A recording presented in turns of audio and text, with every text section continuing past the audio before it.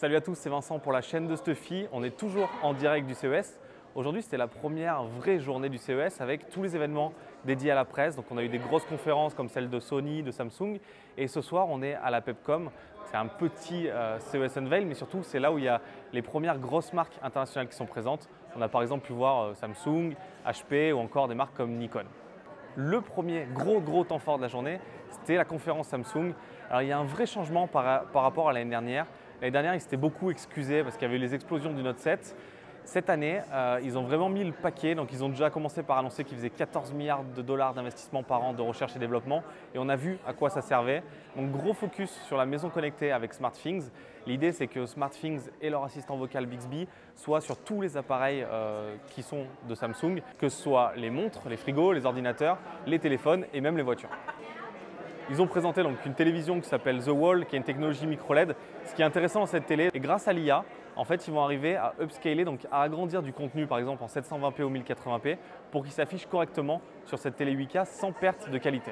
Donc on attend de voir ce que ça donne euh, dans les faits, parce que là on a vu euh, en démo euh, sur, pendant la conférence, on va aller voir sur leur stand ce que ça donne, mais en tout cas la techno elle est super intéressante. Autre techno intéressante, c'est Flip. Alors Flip, c'est un truc B2B. C'est euh, en gros le futur du paperboard. Donc c'est un écran tactile qui fonctionne avec euh, l'écosystème Samsung. Donc si vous avez par exemple un Galaxy S8, vous pourrez envoyer des infos depuis votre téléphone, les modifier directement sur l'écran, bosser à plusieurs, l'envoyer par mail. Euh, c'est hyper intéressant. Allez voir leur vidéo YouTube, c'est vraiment un projet qui est cool.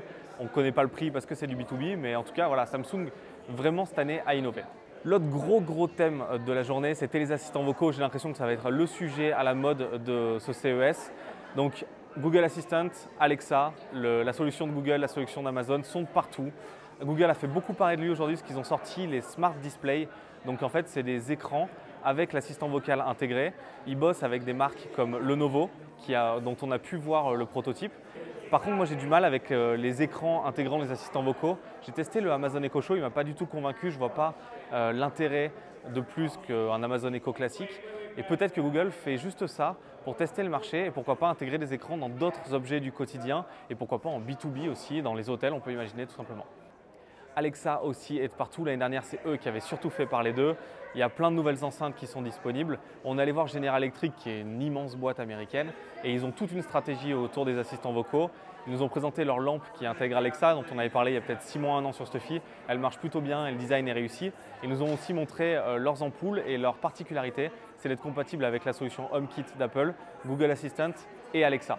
Petite histoire marrante avec General Electric, on parlait avec les gens sur le stand, ils ont reçu un coup de fil euh, avant-hier de Google pour bien préciser aux gens que les gens allaient devoir faire le choix sur euh, une lumière connectée qui intègre Alexa et Google Assistant. Ils ne pourront pas utiliser deux en même temps, ce sera soit Alexa, soit Google Assistant. Donc on voit que la bataille est vraiment féroce sur ce marché-là. La Pepcom, c'est aussi surtout son buffet. Je voudrais remercier sincèrement la Pepcom. Chaque année, ils nous font plaisir. Des petits hot dogs, des petits burgers, des cookies de qualité. Et ça, franchement, merci la Pepcom. Mais aussi la Pepcom, c'est aussi pas mal de bullshit. On allait voir Foldimate dont on a parlé. Donc c'est cette petite machine qui coûte environ 1000 dollars qui vous permet de plier le linge facilement. Donc déjà, moi je trouve ça un peu déceptif que ça fasse que plier le linge parce que mon vrai problème c'est le repassage, c'est pas le pliage. Et ensuite, on a vu que en fait, le linge qui était entré dans la machine, en fait, ne ressortait pas en bas plié, c'était un autre linge et qui sortait par une petite cuve cachée. Et donc, il est toujours déplié, ce qui est bien, bien dommage. En tout cas, nous, on va continuer euh, de voguer dans le salon. Ça ouvre demain officiellement. On va commencer par l'espace startup et ensuite, on va aller vers les plus gros groupes.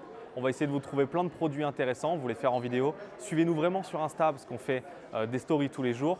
Si vous avez aimé cette vidéo, mettez un petit pouce bleu, ça nous fait toujours plaisir. Un abonnement, ça nous fait encore plus plaisir. Et moi, je vous donne rendez-vous demain pour toujours plus de news en direct du CES. À demain.